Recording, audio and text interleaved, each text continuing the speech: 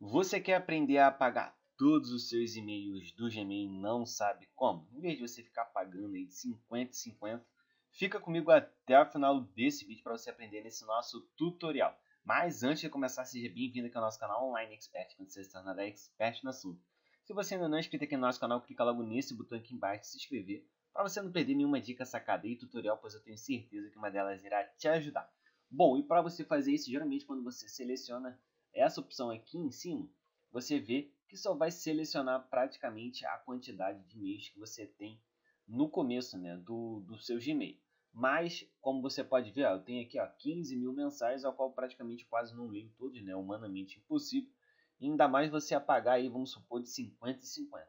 Mas tem, depois que você escolhe essa opção aqui ó, de selecionar as 50 mensagens, você pode vir ó, e simplesmente clicar aqui, ó, selecionar todas as 15 mil conversas. E aí, quando você selecionar todas as 15 mil conversas e vir aqui nessa opção de excluir, você irá apagar todas as suas conversas que você tem no seu Gmail. Claro que aí elas irão para a sua lixeira e depois é só você apagar dentro da sua lixeira. Bom, pessoal, por hoje é só. Espero que vocês tenham aprendido. Caso tenham ficado com alguma dúvida, é só deixar aqui embaixo nos comentários do vídeo. Vou me despedindo por hoje e até o próximo vídeo.